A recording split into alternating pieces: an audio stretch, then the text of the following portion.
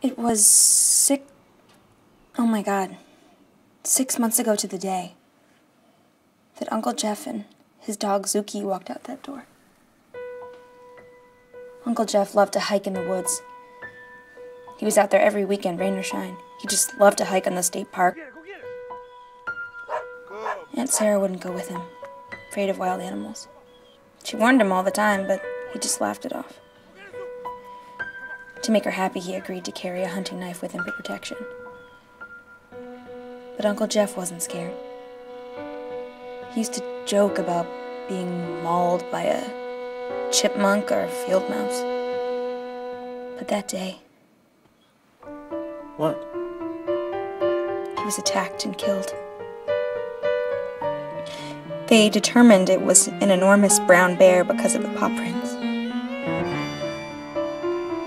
Body was never recovered.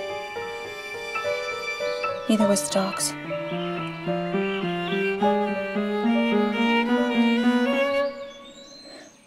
The only thing they found was What?